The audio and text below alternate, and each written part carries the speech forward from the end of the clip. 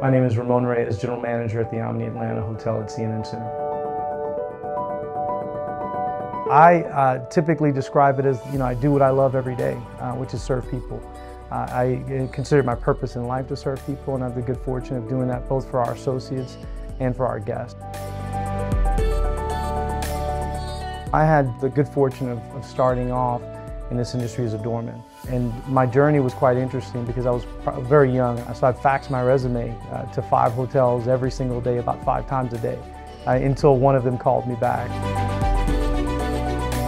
I remember interacting with the general manager at the time and, and I walked up to him and said, hey, you know, I love what I do, but I don't want to do this for the rest of my life. I, I want to grow, I want cross train. And his exact words were, were go for it.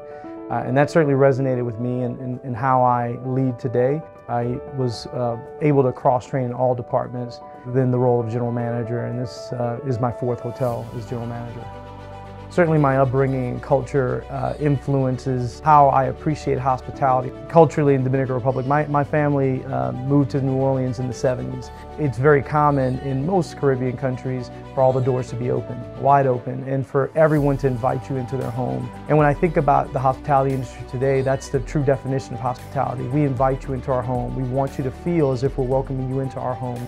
You know, we understand the importance of travel and the memories that are created there. Uh, and anytime you ask someone to, to, to discuss or share their most memorable experience, for us to be part of that story is something that's truly unique and I think people don't think of in our, in our industry. What a tremendous blessing it has been uh, to work with a leader like um, Ramon. He brings a, an approachability and relatability to everything he does um, that's been unlike anything I've seen in my career.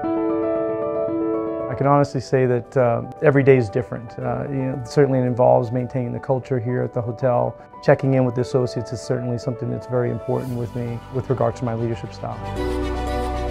I think uh, for me, living the American dream through hospitality is doing what I love every day and, and, and serving people. As I mentioned, that's uh, the core of, I think, my character is making sure that everyone is, is um, afforded the opportunity to grow.